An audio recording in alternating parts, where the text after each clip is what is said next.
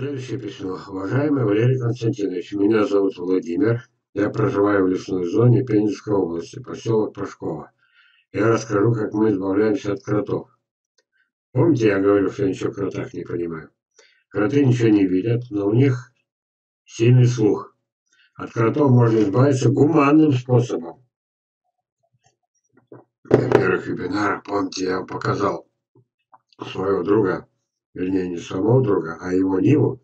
Из Нивы торчал шланг, который э, от выхлопных э, трубы, которые он завел под землю и включает насос, и все, коротов нету. Не назовешь гуманным, да? А есть люди, которые считают, что кроты приносят пользу, живя в вашем саду в почве. Вот попробуй, кого слушать. А я зачем купил, зато продаю. У меня их нет, слушайте дальше. У коротов сильный слух.